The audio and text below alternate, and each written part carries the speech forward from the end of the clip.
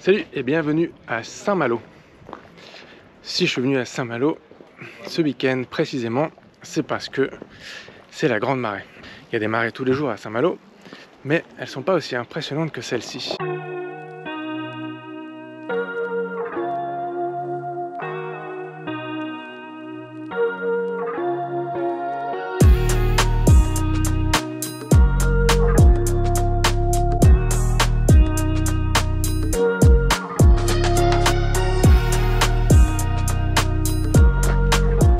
Que vous voyez cet escalier qui descend dans la mer Enfin, pas dans la mer du tout.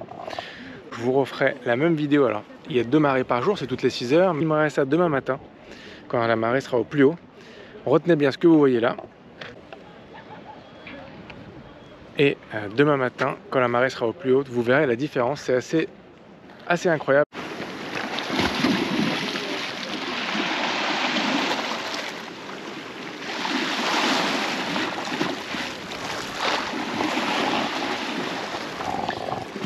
Voilà, on est au même endroit qu'hier. Dites-vous que la marée n'est pas encore à son maximum là parce que je, me suis levé un peu plus tôt.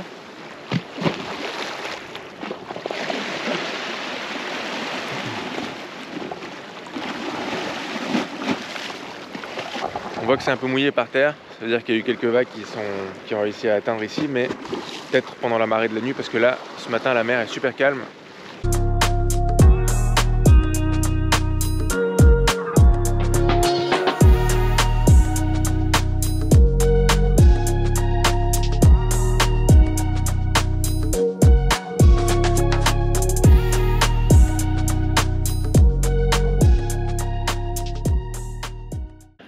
Donc là je suis officiellement sur la plage de Saint-Malo.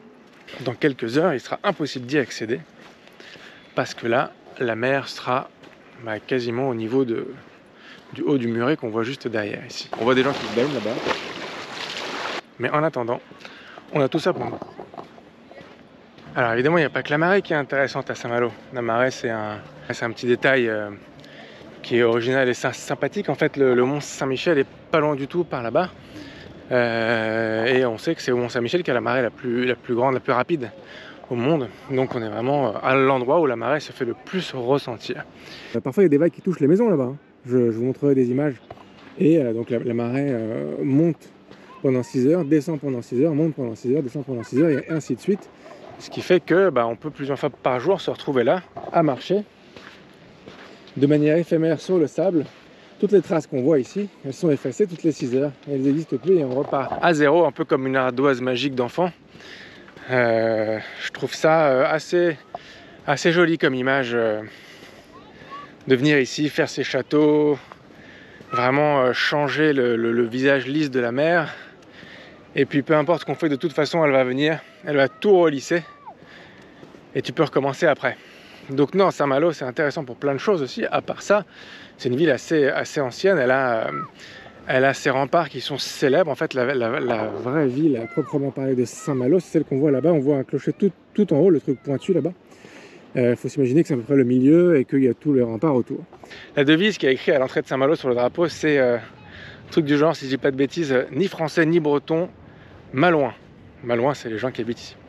Donc euh, c'est pour dire un peu la, force de l'identité des, des Malouins, des gens qui habitent ici depuis longtemps. Elle a des centaines d'années, euh, voire plus. Elle avait été en, grande partie malheureusement détruite pendant la Seconde Guerre mondiale parce que euh, c'était un des grands fiefs du mur de l'Atlantique des Allemands contre les, Alliés qui allaient débarquer.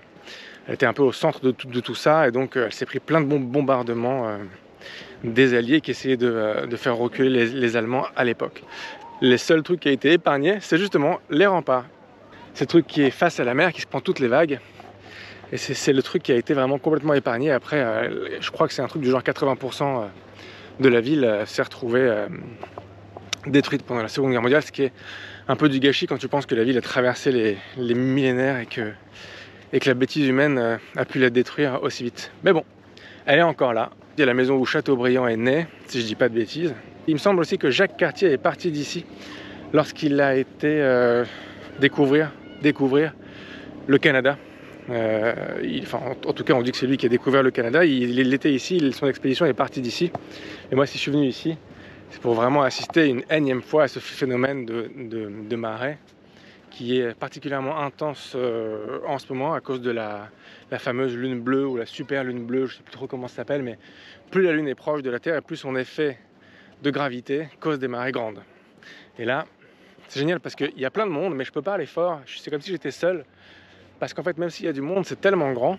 C'est comme si la, planète, la, mer, nous laissait deux fois par jour beaucoup plus de place que dans notre ville, tout serré, tout serré les uns sur l'autre là-bas. Elle dit, bah, vous savez quoi, allez-y, euh, vos jambes, amusez-vous bien, je vous laisse toute la place, mais attention, je reviens après. Je trouve ça assez sympa. Ce petit fort là, il est totalement coupé de la terre quand c'est la marée haute. Et là, la marée basse, on peut y aller à pied facilement, comme tous les gens le font là, pour visiter. Ici, l'endroit où je suis euh, ce soir, tu peux pas passer. D'ailleurs, on voit que il reste encore de l'eau, c'est tout rouillé. Mais ici, en fait, euh, les, vagues, elles viennent frapper ici, sur tout, tout ce mur, et elles éclaboussent jusqu'à ce mur ici.